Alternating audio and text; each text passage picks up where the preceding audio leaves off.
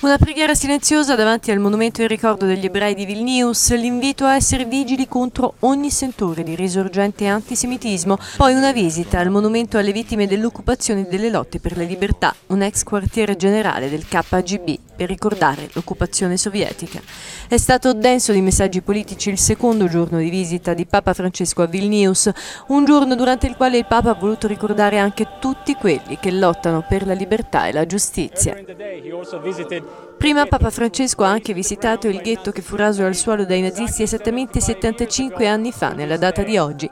Dei 60.000 ebrei obbligati a viverci nel 1941, solo 2.000 sono sopravvissuti.